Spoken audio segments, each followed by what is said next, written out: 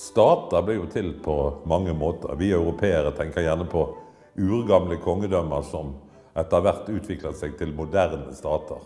Men eh, det er mer vanlig at eh, stater ble til fordi at store imperier går i oppløsning. Sånn som Sovjetimperiet gjorde det ganske nylig, eller det østerriksk-ungarske imperium gjorde det under den første verdenskrig. Men det kan også være små bystater som slår seg sammen og blir til store stater. Italias samling, f.eks. Men det som kan være interessant, er at det av og til skjer at sånne små bystater de overlever til tross for alt.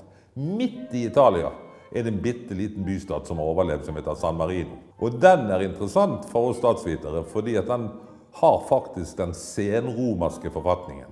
De velger to konsuler hvert år og har et senat.